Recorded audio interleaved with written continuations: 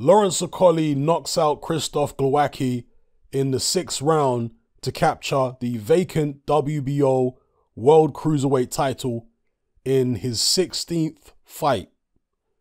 Now, I think most of us will feel that this was by far and away Lawrence Okolie's best performance to date. I saw a lot of improvements in there. Lawrence Okolie has been criticized over the years for holding too much on the inside. In this fight, we saw very little of that.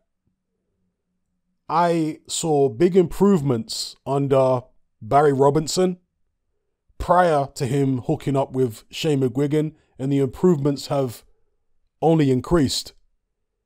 His stance is different now if you compare it to how he used to fight early on in his career. Now with Shane McGuigan, he tends to keep, keep this left hand down. And I've mentioned before, there are many advantages to keeping a left hand down if you're a tall fighter. One of the advantages is the opponent often doesn't see the jab. Okay, that's one advantage. Also, because they don't see the jab, it's coming from outside of their peripheral vision, it makes them hesitant. And it also splits their uh, attention from watching out for the right hand, but also watching out for this.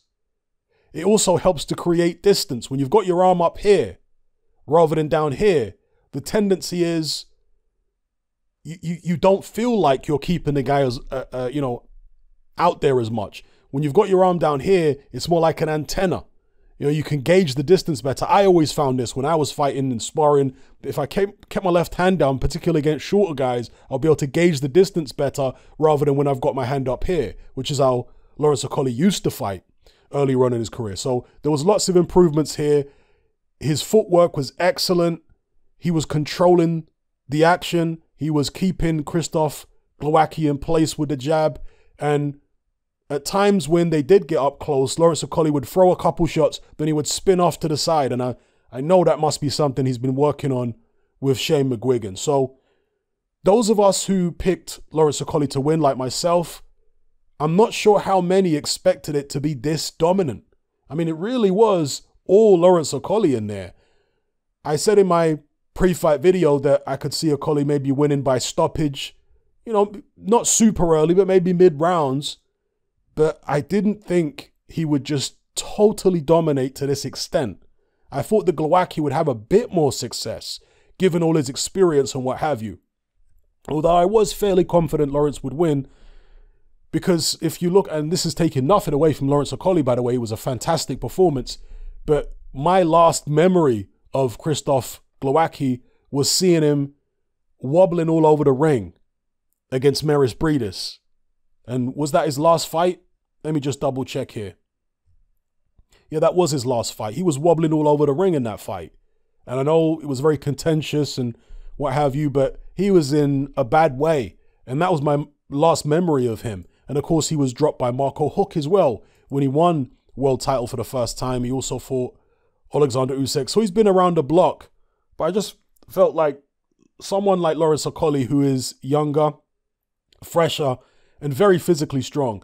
I think people really underestimate the significance of Lawrence Okolie's physical strength because as we saw early on in his career when he fought people like Isaac Chamberlain, even if he's not as technically good as the opponent, because he has this physical strength and punching power, he can nullify a lot of that. Now, it wasn't pretty with Chamberlain and Askin and people like that, but he has that to fall back on if he's not able to overcome somebody technically. But in this instance, with Krzysztof, and that's why I, I felt like he would win the fight because, again, if it did start to get a little difficult from a technical point of view against Glowacki, he could just impose his size on him, impose his physical strength, and do it that way. I always felt like Okolie would be the physically stronger man here because of what I've seen before in his career and because of the fact he's always sparring these big guys, you know, the AJs and the uh, Tyson Furies, Dylan Whites, all those kind of guys he's used to sparring big men. He's used to the body contact and what it's like wrestling wrestling around with big heavyweights. So a guy like Krzysztof Glowacki, he's not going to have the same strength as the people that Lawrence Okolie's used to being in the ring with. So yeah, excellent performance, controlled things with the jab, very poised, very confident. You know, there was no serious nervousness or anything there. He was just very, very sure of himself. And, you know, one of the things about Lawrence Okolie, I like his story because it's not the typical, oh, boxing saved me from a life of crime. I was running around in the streets. I used to be a tough guy. No, I like his story because he used to work at McDonald's in Victoria Station. And he was listening or watching Anthony Joshua in the Olympics and that inspired him. That is something more relatable to most people rather than running around in the streets and all this kind of business. You know, that's something we've heard a zillion times over, right? Even from me. so we don't need to hear any more of them kind of story. Well, look, people's stories are people's stories, but just from the perspective of the general public, Lawrence Okolie's story is more relatable. You know, working in McDonald's and, and what have you, and now he's a world champion in his 16th professional fight. So, yeah, fantastic performance. Really didn't put a foot wrong. Excellent work by him and Shane McGuigan. And on to bigger and better things. He's talking about Mairis Briedis. Now, Mairis Briedis is a very good fighter, of course. I didn't actually realize how old he is. Mairis Briedis is now 36 years of age. And he turns 37. Where's his date of birth? Okay, it doesn't. Okay, no, debut. Doesn't have his date of birth here. Uh, but I have been told, I don't know if this is true, that if he fights Okolie later on this year, he's likely to be 37 by the time that fight takes place. So, yeah, he's no spring chicken. So the instant reaction from a lot of people when they hear Lawrence Okolie talking about fighting Mairis Briedis, they're saying, ah, it's too early. Briedis is the next level. I think even Briedis's promoter, Sauerland, has come out and said, hey, you know, pump the brakes. This is a whole new level, but if you want to fight, let's do it. But when you consider the age, you know, I know Mairis Briedis keeps himself in fantastic condition, but Father Time is undefeated. Lawrence Okolie, significantly younger, something like seven or eight years younger. Very physically strong. I know Mairis Briedis is physically strong too, but Okolie has got that reach, you know? In fact, what is Lawrence Okolie's reach? Does it say here? We know he's six foot five inches tall, I don't know what his reach is, but it's definitely longer than Mairis Briedis' reach. so I think that that's a very interesting fight. And if Lawrence Okolie and his trainer Shane McGuigan feel like he's ready, then why not? He's world champion now. And as I've said for the longest time, if you hold a world title belt, you should be willing to fight anybody in the division, irrespective of how many fights you've had. See, I was very critical of people like Tank Davis. Remember when he first became a world champion and they kept him away from Vasyl Lomachenko? Yeah, I don't believe in that. I believe if you're going to call yourself world champion, then you should be willing to face anybody. And Lawrence Okolie is. And this is the way he's moved throughout his career. Very early on, he was fighting journeyman, but he wanted to get a move on. He wanted proper fights, meaningful fights. And he fought his domestic rivals in Isaac Chamberlain dominated that fight. Luke Watkins, Matty Askin. So he cleaned up at domestic level.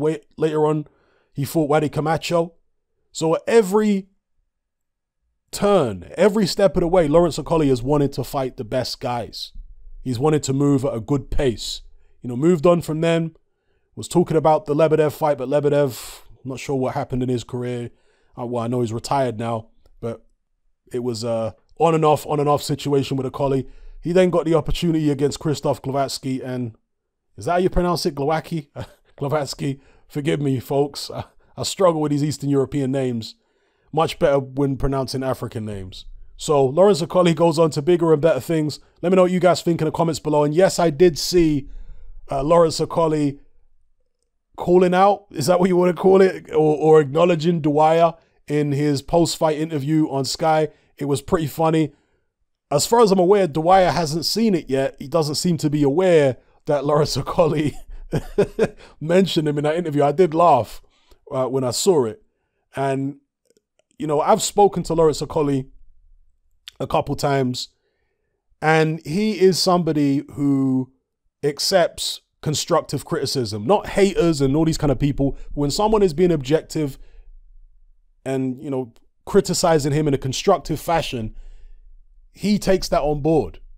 You know, a lot of fighters, look, fighters are egotistical. We all have an ego. In order to become the best at boxing, you have to have an ego. But he isn't so egotistical that he can't take constructive criticism because he wants to improve. Whereas a lot of other fighters, if you criticize anything that they do, they get really angry, they get really emotional, they don't want to talk to you, and so on. Lawrence Okolie's not like that. Yeah, that, that's what I could tell you from first-hand experience when I've spoken to him online before. He's, uh, you know, a, a realistic-minded individual. So yeah, hats off to him. Great performance. Him and Shane McGuigan should be very, very happy with themselves and proud of that performance. And I know Shane McGuigan has had a rough time of it over the past couple years, losing some prominent fighters. Carl Frampton, of course, uh, Josh Taylor, and there's been some, you know, acrimony there. But with Lawrence Okolie, he might have found potentially the one of the best fighters he's worked with so far. I know he worked with David Haye, but that was towards the end of David Haye's career, and it remains to be seen whether Lawrence Okolie can reach the heights of a Carl Frampton. But I think he's got the potential there, certainly at cruiserweight. At heavyweight, I know it's a different ball game, and he's a, certainly going to move up to that weight because of his size, his strength. Um, but a cruiserweight, this guy could go on to be a very, very good cruiserweight champion indeed. And if he can unify the belts, the, the, the kind of confidence he has at the moment, the kind of momentum, I wouldn't be surprised if he managed to unify the belts, become undisputed cruiserweight champion, then move up to heavyweight. So he is a bit of a sleeper, Lawrence Okolie, because not, not a lot of people, especially early on in his career, really felt like he was going to go anywhere. But what I recognized early on was the self belief, constantly wanting to push himself, constantly wanting to improve, willing to take criticism in order to improve. You know, constructive criticism, not the haters and all these idiots, but, but constructive stuff. So, and, and of course, the physical strength, yeah, the punching power, all that kind of business. Anyway, let me know what you guys think in the comments below. Lawrence Okolie's fantastic performance over Krzysztof Glowacki, defeating him. Let me know what you thought about it in the comments below.